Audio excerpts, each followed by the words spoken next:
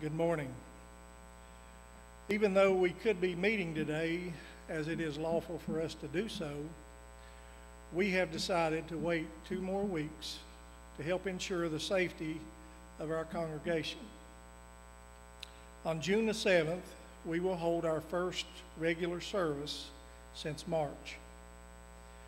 We would like to thank each and every member of the Sharondale Church of Christ for their faith and dedication to the church.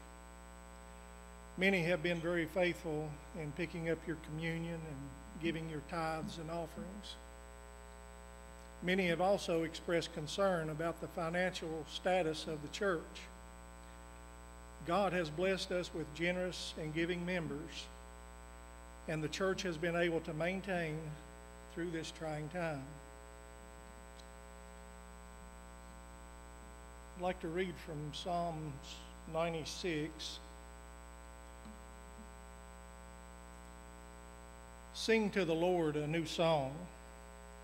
Sing to the Lord, all the earth. Sing to the Lord, praise his name. Proclaim his salvation day after day. Declare his glory among the nations, his marvelous deeds among all peoples.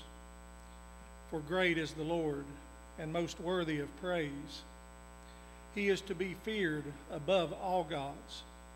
For all the gods of the nations are idols, but the Lord made the heavens.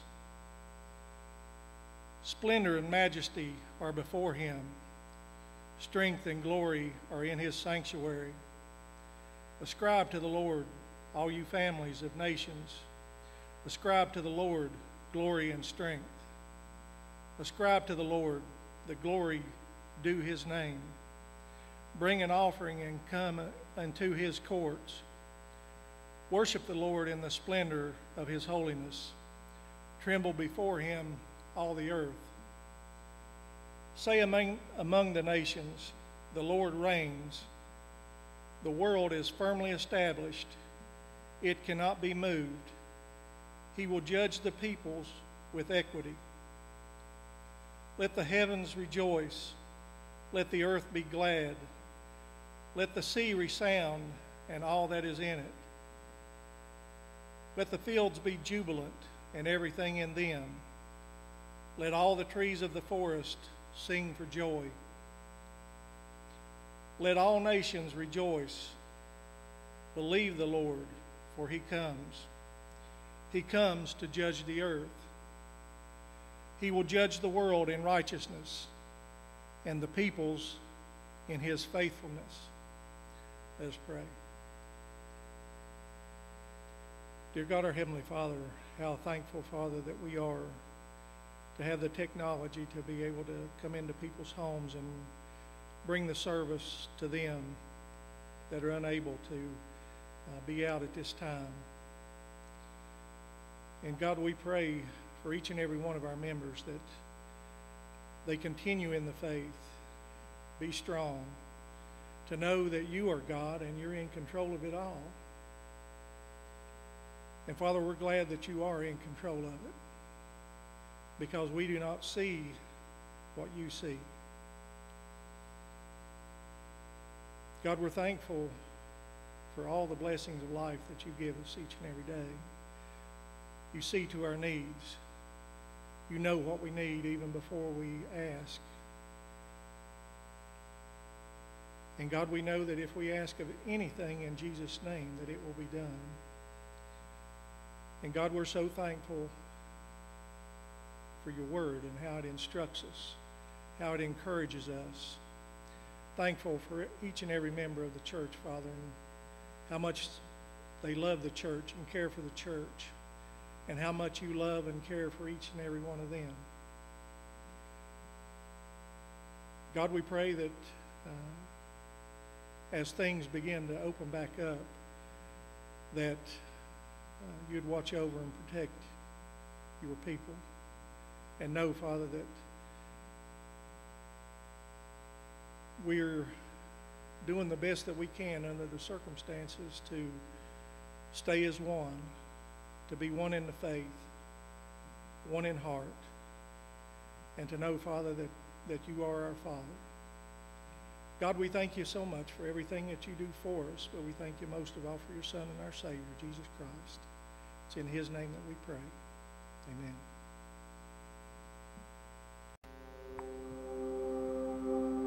Thank you.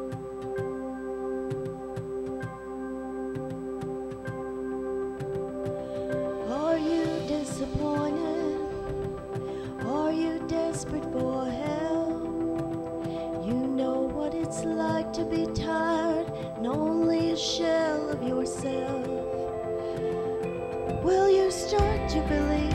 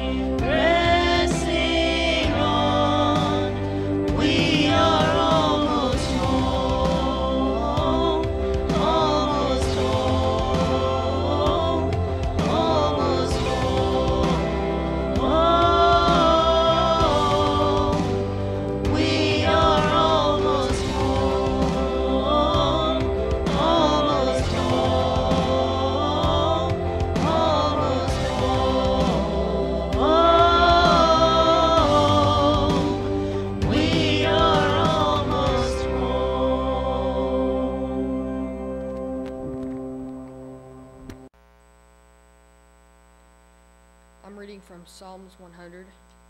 Psalm 100. A psalm for giving grateful praise. Shout for joy to the Lord, all the earth. Worship the Lord with gladness.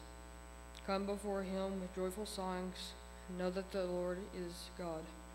It is he who made us, and we are his. We are his people, the sheep of his pasture. Enter his gates with thanksgiving and his courts with praise. Give thanks to him and praise his name. For the Lord is good, and his love endures forever. His faithfulness continues through all generations.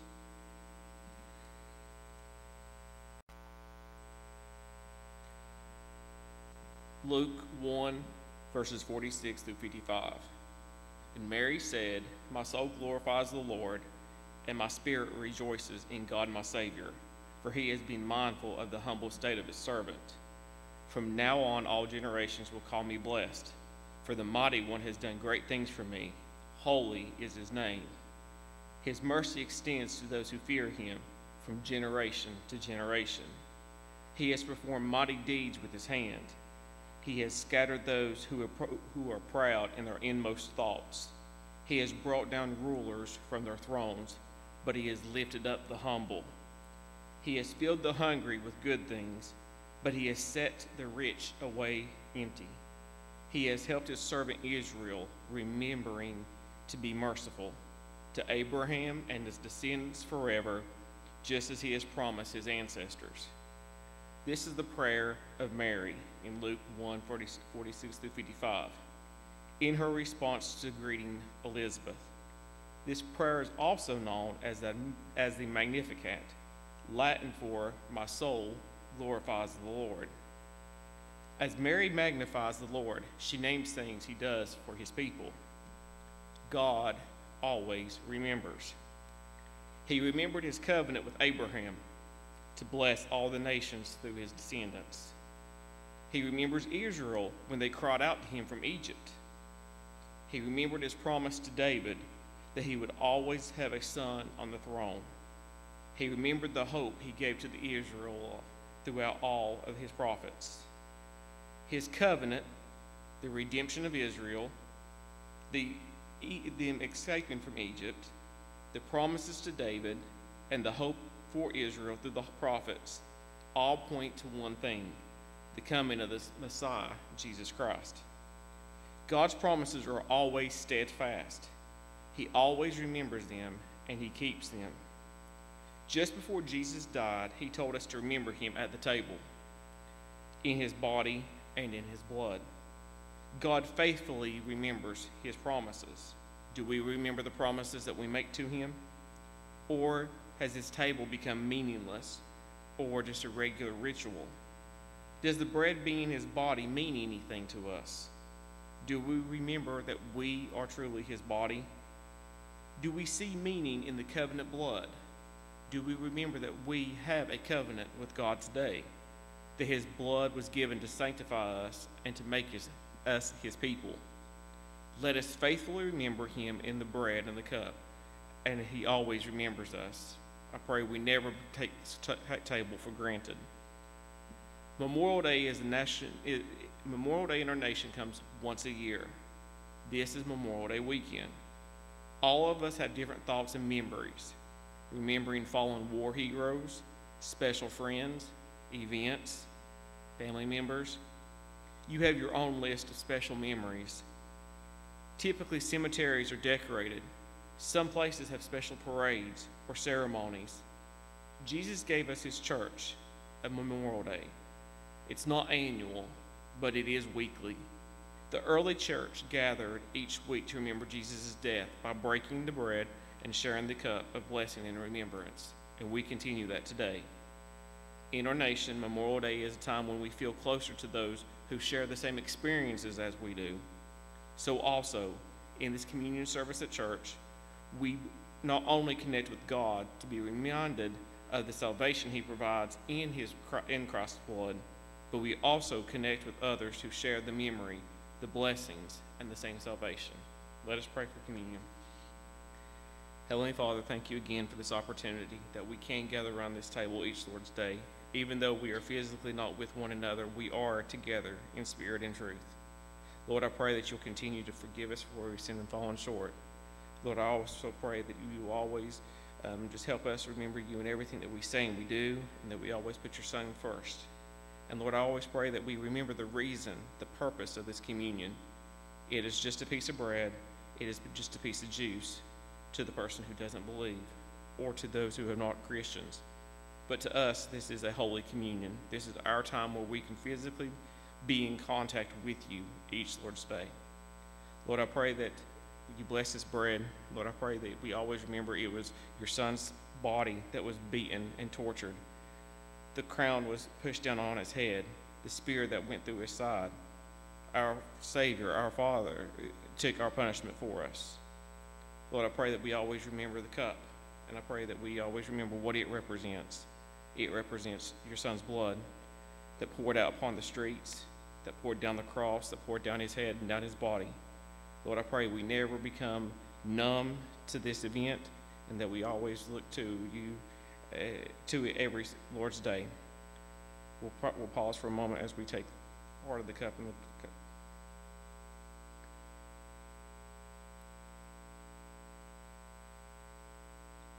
Lord, again, thank you for this opportunity that we uh, can meet together, and we look forward to the day that we can partake of it again with our brothers and sisters physically together.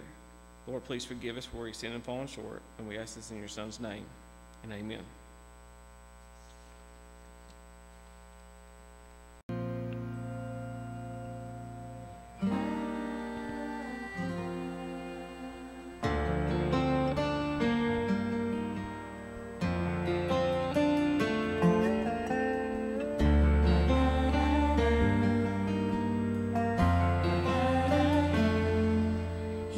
Shelter in the storm when everything went wrong. A beckoning hand that led me back home. A still small voice saying it's gonna be alright. My song of hope in the darkest night.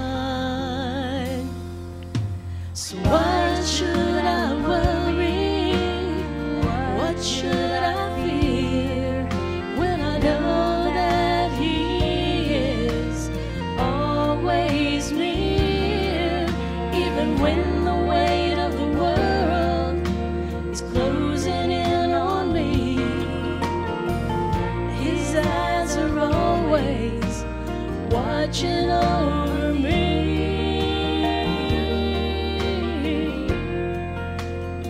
So why should I worry?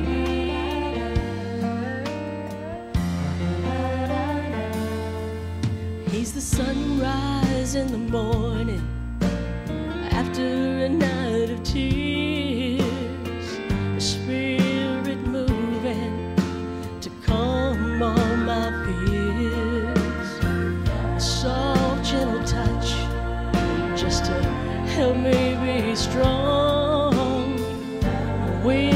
myself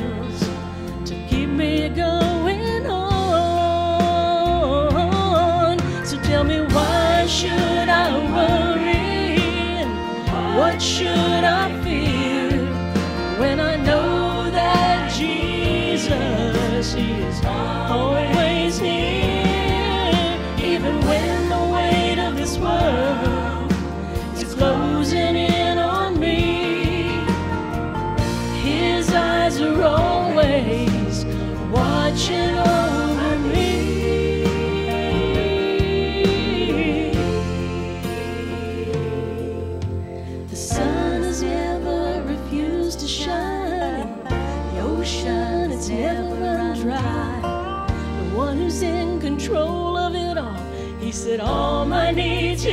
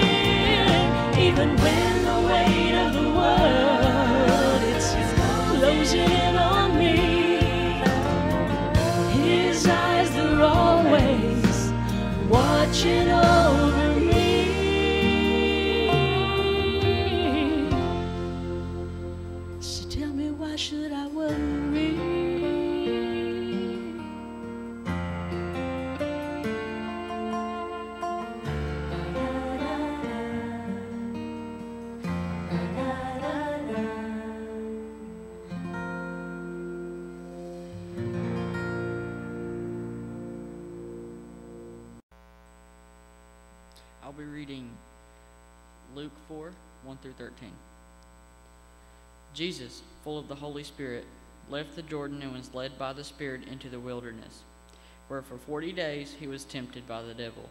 He ate nothing during those days, and at the end of them he was hungry. The devil said to him, If you are the Son of God, tell the stone to become bread. Jesus answered, If it is written, Man shall not live on bread alone. The devil led him up to a high place, and showed him in an instant all the kingdoms of the world. And he said to him, I will give you all their authority and splendor. It has been given to me, and I can give it to anyone I want to. If you worship me, it will be all yours. Jesus answered, It is what it is written. Worship the Lord your God and serve him only. The devil led him to Jerusalem and had him stand on the highest point of the temple. If you are the Son of God, he said, throw yourself down from here, for it is written, He will command His angels concerning you to guard you carefully. They will lift you up in their hands so that you will not strike your foot against a stone. Jesus answered, It is said, Do not put the Lord your God to the test. When the devil had finished all this tempting, he left him until an opportune time.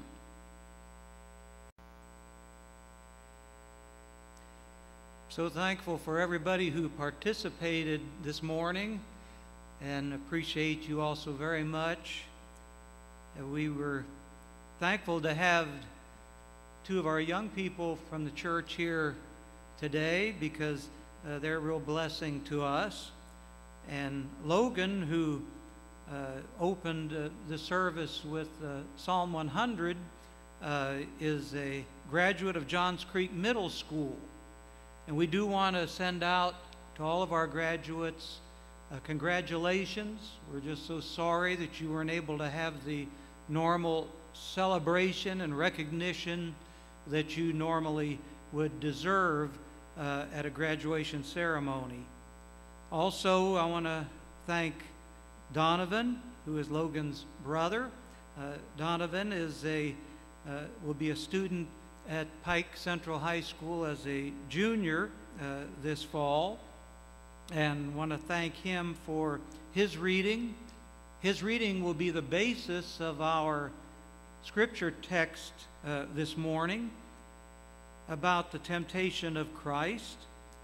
And I want to ask a question about this. What does Christ's temptation show us? We know that it is meaningful not only for the experience that our Lord Jesus Christ had, but it's meaningful to each of us as we try to follow his example and live according to his precepts. We need to recognize, first of all, that temptation is not sin. Sometimes when bad thoughts come to our minds, or we're tempted to lie or defend ourselves or get angry, we think, well, that's sin, but that's not the sin. It's yielding to the temptation that is the sin. The main idea in the Bible of temptation is a test. We know that temptations can come through Satan, but we also know that God sends tests to his people to make us stronger. There's three ways or three things here that we notice about this temptation. What did Christ's temptation show us? First of all, it showed us Satan's tactics. Secondly, his temptation showed us how to overcome the temptation. And thirdly, Christ's temptation shows his sympathy for us. As we look at this idea of Satan's tactics, we notice that he himself uses Scripture, but he twists it. He also doesn't care about our condition Christ, of course, was very hungry, having gone without food for 40 days. So Satan took advantage of his weakness. These are some of the tactics of Satan, and there are many others that he uses. But we know that Jesus used Scripture also to counteract his false use of the Scripture, misapplication of the Scripture. So we need to remind ourselves that we first of all need to know the Scripture to resist temptation, and secondly, we need to use it in the right way.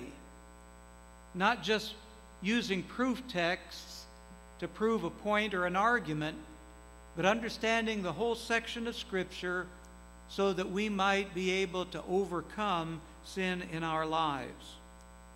I mentioned to you that our Lord can sympathize with us because of his temptation. And this is brought out in Hebrews chapter 4, starting with verse number 14. Therefore, since we have a great high priest who has ascended into heaven, Jesus, the Son of God, let us hold firmly to the faith we profess. For we do not have a high priest who is unable to empathize with our weaknesses, but we have one who has been tempted in every way just as we are, yet he did not sin. Let us then approach God's throne of grace with confidence so that we may receive mercy and find grace to help us in our time of need. Maybe when we're tempted, we feel overwhelmed and even ashamed. But this verse of Scripture here that I already read in verse 16 says we should approach God's throne of grace, that means through prayer, with confidence so that we can receive mercy and find grace. So, how did Jesus overcome his temptation?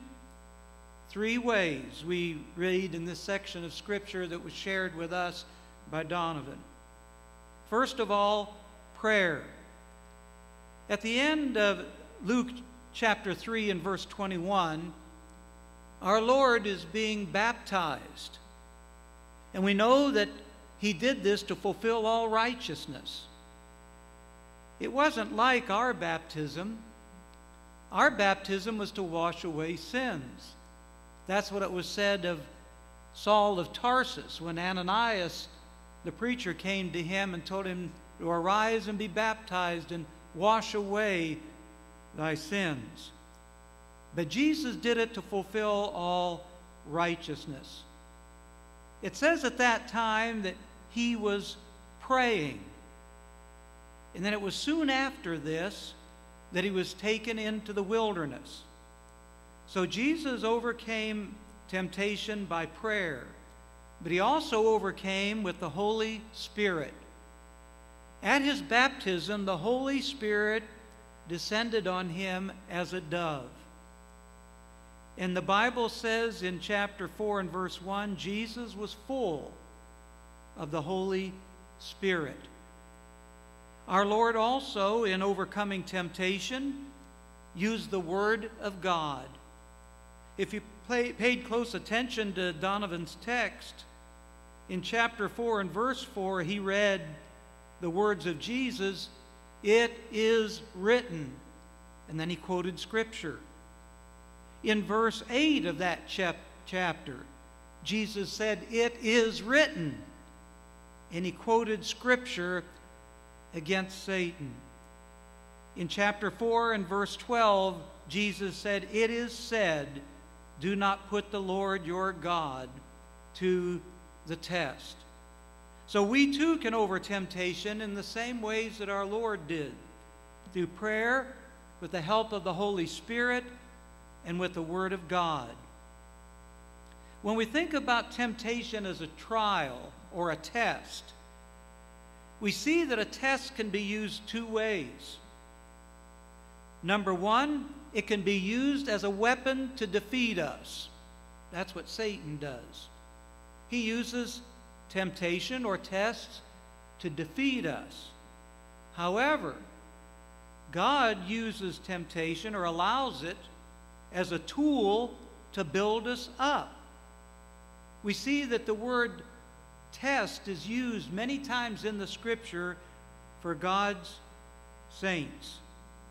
In James chapter 1, in verses 2 through 4, in the New American Standard Version of the Scriptures, it says, Consider it all joy, my brethren, when you encounter various trials, knowing that the testing of your faith produces endurance. And let endurance have its perfect result, so that you may be perfect and complete, lacking in nothing. That is God's purpose in letting tests come into our lives. We see that Luke's account is very similar or parallel to 1 John chapter 2 and verse 16. In 1 John 2:16 in the King James version of the Bible it says, "For all that is in the world, the lust of the flesh and the lust of the eyes and the pride of life is not of the Father, but is of the world." You'll notice carefully that Jesus suffered temptation with each one of those the lust of the flesh, the lust of the eyes, and the pride of life. You see, when our Lord was hungry, Satan said, You can make the stones into bread. So this was the lust of the flesh. Satan also told Jesus, I would give you all the kingdoms of the world, which is the lust of the eyes. And then Satan told him to jump from the temple, and he quoted from Psalm 91, verses 11 and 12, Satan did, because it said that he would be protected. And that's when our Lord says we're not to tempt God. So the pride of life. We find out, however, that there's no shortcuts to the cross. And I think that was one of the greatest temptations that Satan was putting upon Jesus.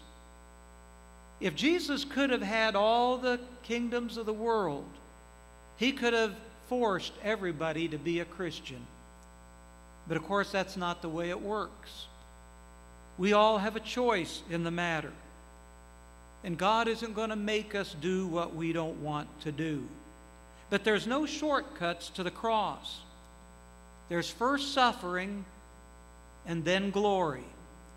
That's what it says in Luke 24 26. Did not the Messiah have to suffer the things, these things, Jesus said, and then enter his glory? Jesus was trying to inform the disciples that terrible things would happen to him.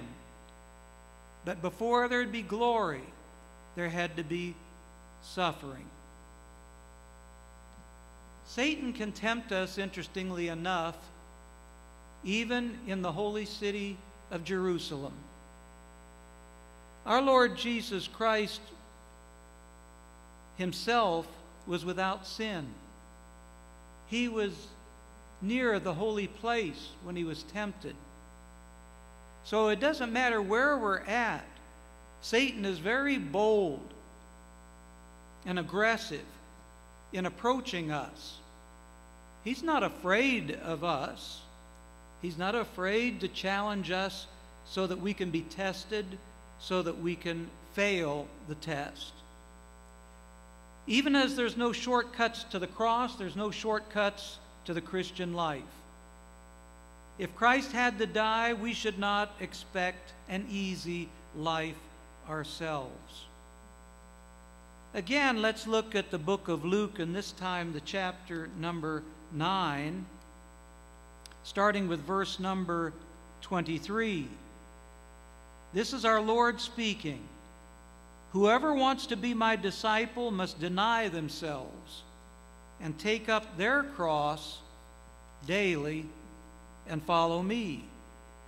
For whoever wants to save their life will lose it, but whoever loses their life for me will save it. What good is it for someone to gain the whole world and yet lose or forfeit their very self? Whoever is ashamed of me and my words, the Son of Man will be ashamed of them when he comes in his glory and in the glory of the Father and of the holy angels. We see our Lord telling us here to take up our cross. This is a willful choice that we make in the Christian life. Sometimes that expression is used for people when they have to endure circumstances in their lives that are beyond their control. They may say, well, their illness is their cross that they have to bear. Or maybe the pressure of their job is the cross that they have to bear. Or the worry of their children is the cross that they have to bear. But I would submit to you that the cross Jesus is talking about is the one that we choose, not the one that comes upon us because of the difficulties of life. So, are we going to choose Christ? As I close today, I want us to think about something that happened on the island of Cyprus during the first missionary journey of the Apostle Paul. There on the island of Cyprus, he met the proconsul, the man who was the head of the island. His name was Sergius Paulus. And the Bible says in Acts 13 8 that Sergius Paulus wanted to hear the word of God. That's what verse 8 says. But then we notice in verse 9, he had in his employment a sorcerer by the name of Elymas. And it says in verse 9, but Elymas, the sorcerer, tried to turn the proconsul from the faith. So we see here that a test came into his life.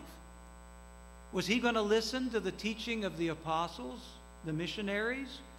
Or was he going to pay attention to this sorcerer that he himself had hired? But in verse 12, we see that Sergius Paulus won out.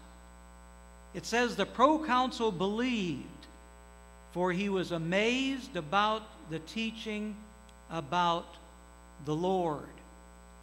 Now, if you read the whole text there, you would notice that the apostles were angry at Elymas and they blinded him for a season. And you would think that this is what would have really impressed Sergius Paulus.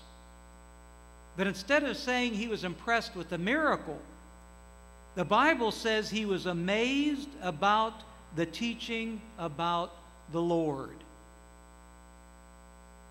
I hope you and I are amazed about the Lord's teaching and we never get comfortable with it. We, we never get commonplace with it. That we'll always be challenged by it every day and every way. One of the things that impresses me about the early conversions in the book of Acts is that, for the most part, and I would say always, that no one pressured the people to be baptized when they believed. On the day of Pentecost, the first sermon was preached by Peter, and we see that in the crowd, they yelled out, Men and brethren, what must we do? They interrupted the preacher. He didn't have an invitation to him. And then we see when Philip was teaching the Ethiopian eunuch as he sat in his chariot reading from Isaiah the prophet, chapter 53, it says at that point Jesus began to teach him about Jesus. And then we hear the Ethiopian saying, See, here is water. What doth hinder me to be baptized?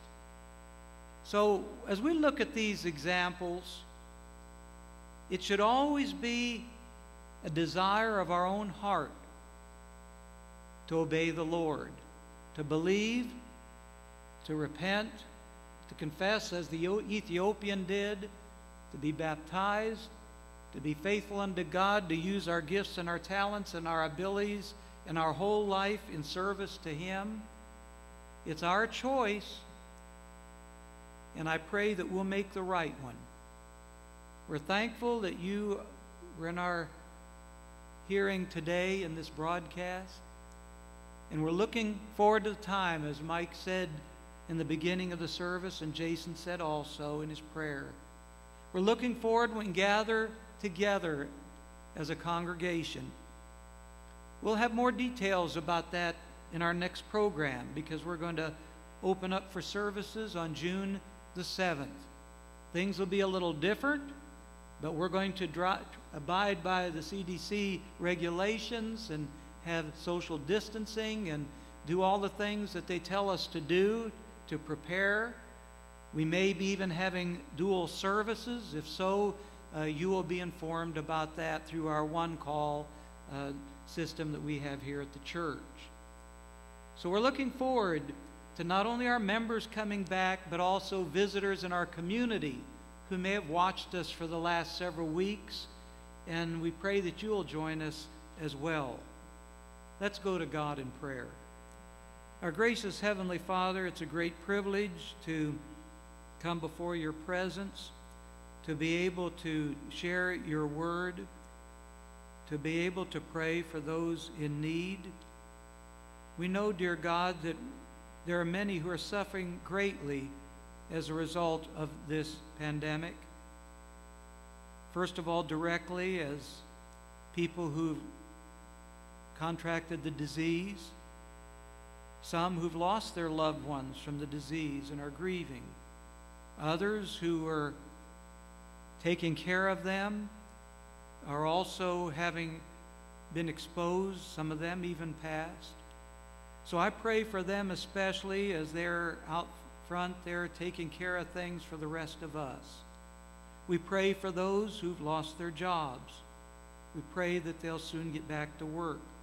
Pray for those whose businesses have gone down. I pray that they can somehow get them back. And I pray, dear God, that you'll bless each one of us, that when we do return uh, to our services, that we will be more determined to be able to do your will, to help others, to be the kind of Christians we should be, and to give you the honor and glory that you deserve. We ask all this in Jesus' name. Amen.